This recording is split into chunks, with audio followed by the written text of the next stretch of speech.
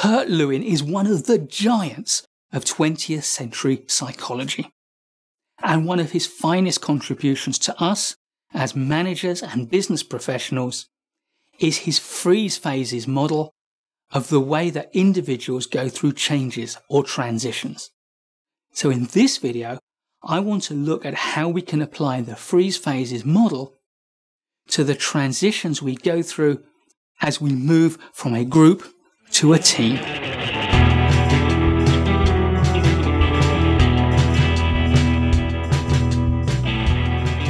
Kurt Lewin's model of change has three stages unfreezing, changing, and refreezing. He uses the metaphor of a block of ice to show how we go through a transition. We start off in one shape, we unfreeze, we form ourselves into a new shape, and then we refreeze into that shape. And therefore, the freeze phases model is a great way of understanding the transition of a team from a group of individuals to a fully functioning team. And what I really like about it is it is complementary and quite different to the other models of team development that we've looked at in this course. We start with a set of long established certainties. We know who we are, we know what our part is in the organisation, and we are brought into a new group. In the first stage, the unfreezing stage, we find some of those certainties, those attitudes, those beliefs, even values challenged. And we need to open ourselves up to a possibility of a new reality. We need to unfreeze ourselves if we are to fully immerse ourselves in the new group to become part of the new team.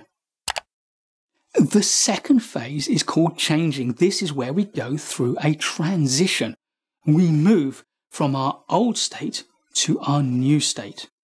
This is a highly dynamic stage where everything is in flux and we are open to new influences. It's characterized by a high degree of plasticity. The direction we move in and where we end up is highly susceptible to what happens during the changing stage. It can be a time of uncertainty and confusion, and therefore our reactions are often driven by our emotions and our emotional response to what's going on around us.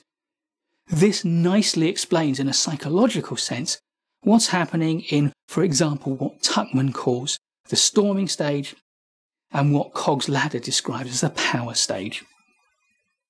This uncertainty also means that we're highly susceptible to things like gossip and rumour.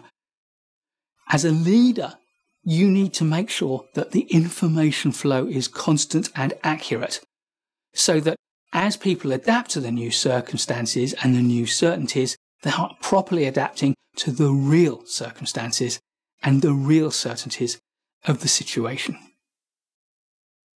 Effective leadership will replace old thinking with new thinking, old norms with effective new norms. Weak leadership, however, can lead us open to uncertainty persisting and not properly settling into a new stage at all, or worse still, refreezing into the wrong set of organisational norms and bad behaviour patterns and unproductive work practices. However, if you lead effectively, you move your team towards a new set of norms and a new set of effective work practices. The final phase is the refreezing phase, where the new certainties, the new ways of working start to crystallize and the group adopts a new set of norms which it will embrace and work with for the next period. With the new mindset this creates, individuals can start to take advantage of whatever opportunities the new situation offers them. Lewin was clear that these three phases were just a way of articulating a continuous process, a single journey with no hard boundaries. He was also clear that there was a constant cycle of unfreezing, changing, refreezing, unfreezing again. The fact that many subsequent authors have represented it as a static model of three static stages and a one off change meant that the model has not been adopted as widely as I believe it should have. People have misrepresented it and misunderstood it. However, to my mind, as a manager, understanding Lewin's fundamental three phase model, the three freeze phases, will give you a strong baseline to understand so much of what goes on in the world of work, whether it be group development or change or the adoption of new ideas. Please do take time to review Kurt Lewin's freeze phase model and understand it. It is one of the best models available. Please do give us a thumbs up if you like this video. There'll be loads more great management courses content to come, so please subscribe to our channel and hit the bell so you don't miss any of it.